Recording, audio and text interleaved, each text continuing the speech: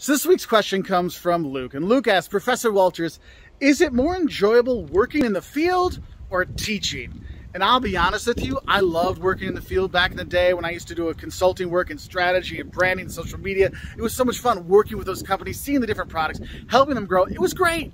But I gotta be honest with you, I love teaching even more because there's the fulfillment of seeing my students going from knowing nothing about marketing, becoming marketing majors, getting marketing jobs, and working in places like Google and Meta and all these other crazy places. Like awesome, you know, seeing that progression really is a fulfillment that I didn't get as much when I worked in the like real world, as people say, as I do with teaching because I really do love seeing my students succeed, and that's why it's like you know you have a, a day job, like you get rewarded, and your, your thank you is your pay right? And that's what you get. But when you teach, yes, you get paid, but also you get the rewarding nature that knowing that you help someone create a better future for themselves and their family, and you see them grow, and it just it just makes you happy. Like I can't fake this smile when I think about all my students I've seen go from you know BADM 320 and, and taking an introduction to marketing class and then and they took business to business marketing with me and they met their girlfriend there and, and then they, they take the capstone course together and they're in the same group and then you get invited to their wedding. You get to see them having a couple of kids. So uh, Chris and Hannah, yes, people like you really made me love teaching. But uh,